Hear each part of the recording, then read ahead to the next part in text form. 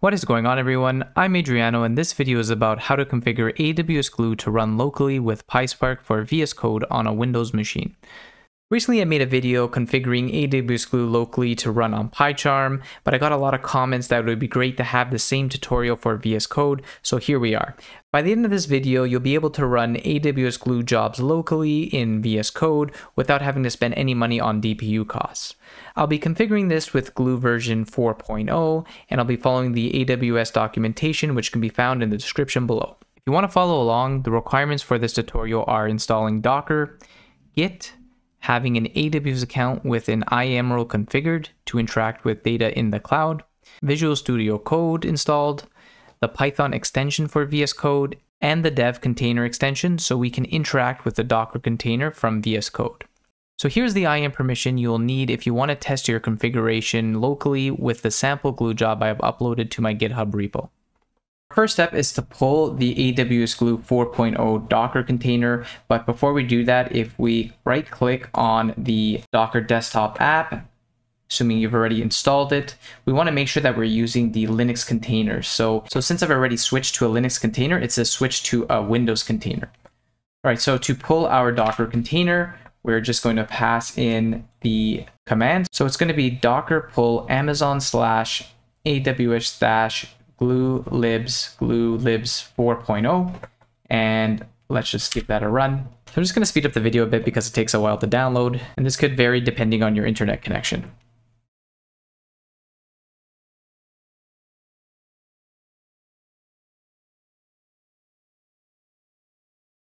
Okay, great. So the pull was complete. And if we were to open up our Docker app, we should now see that in our local repository, we have this image that is pulled. So now we can see we have Glue 4.0. Great. So in order to get this image to work successfully, we need to make sure we right click on the Docker application and go to settings. And we want to make sure that we have selected the second checkmark, which should be expose daemon on TCP localhost 2375 without TLS. Now, from my understanding, this step isn't required for a Mac, but this tutorial is for a Windows machine, so we're going to make sure that this is selected. So if you don't have this selected already, you're going to have to hit apply and restart to restart Docker. Okay, now that that is configured, the next step is to configure our Python interpreter to leverage this Docker container. All right, so if we open Visual Studio Code, we want to first make sure we have the extensions we need. So if we click on the extension tab on the left-hand side, we want to make sure that we have dev containers installed and the Python extension installed. Great, so now that we've confirmed we have the two extensions that we need, next we want to update our workspace with some key value pairs in order to have the right Python interpreter path being specified. Now it says to do this step in the documentation, However, I'm not entirely sure it is needed if you're working within the dev container itself. But what we have to do is if we go and hit file, let's go to open workspace from file. So if you already have an existing project, if we double click on that, you'll see your existing workspace file. And what you want to make sure that we've added is the Python default interpreter path and the Python analysis extra paths. So I've updated this value to be specifically required for Glue version 4.0. So it might be different if you're looking at the documentation because I think that's referencing an earlier version of AWS Glue. And if you need to find out where this is, this can be found on the Docker repository for the AWS Glue repo, which will have this linked in there. I'll also include a link to it in the description below if you're having trouble finding it. Next, we can configure our Docker container. So I'm just going to open up command line here and I'm going to pass in the following command. So what we're going to be doing is running our Docker container. The first parameter is going to be where our AWS credential file is. So if you want to pass a specific profile to the Docker container, this is where you have to specify it. So this is where my AWS credentials are located. This path is going to be specific depending on where you have your credentials stored on your machine. And then this is where it's going to be going to in the Docker container. And then the next parameter is going to be the workspace location. So this is where the workspace location is on the Docker container itself. And then if you have a profile, I'm just passing in the default profile that I want to be able to pass in.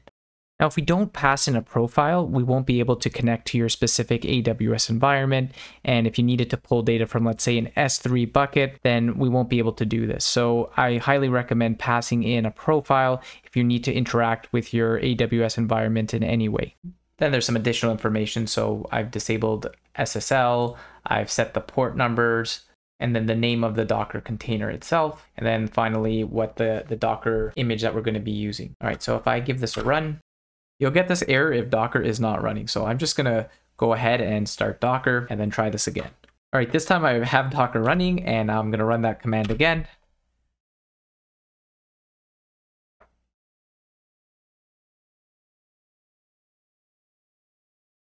Great, so now it looks like our Docker container is up and running.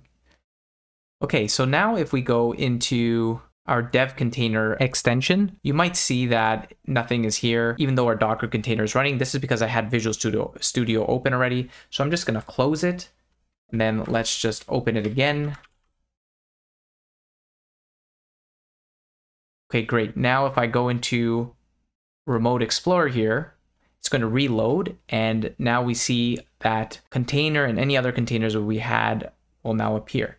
So this is the one we've created together here and we can see that the status is running, which is good. Now, the next step is to right click and attach it to our current session. So in the documentation, it says attach to container, but I don't see that option. I see attached to current window. So I'm just gonna click attach to current window here.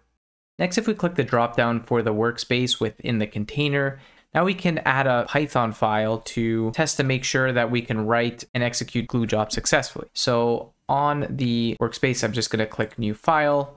I'm gonna call it first glue script py and I'm just going to add the script that I've already created before this. You can find the script on my GitHub repo and I'll include a link in the description below.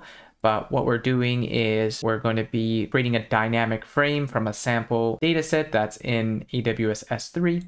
And then we're going to simply retrieve the results to make sure that we are able to get data. All right, so all we have to do is now just run our script, and if everything was set up successfully, should be able to successfully run this glue script within the Docker container.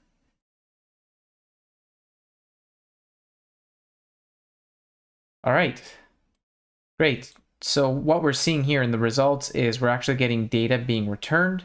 So we've retrieved the first five records of our PySpark data frame.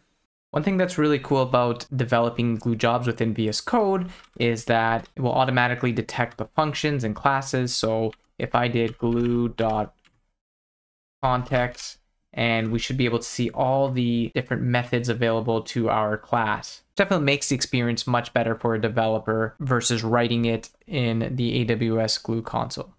Before we end this video, I want to take a moment to give a special shout out to our video sponsor, DoubleCloud. If you haven't heard about DoubleCloud, DoubleCloud is a platform to streamline your data analytics infrastructure. You can save time by building data platforms with zero maintenance open source solutions in minutes. The platform is cloud agnostic, so you can run these services in AWS, GCP, and coming soon to Azure. From ingestion to visualization, all integrated and fully managed.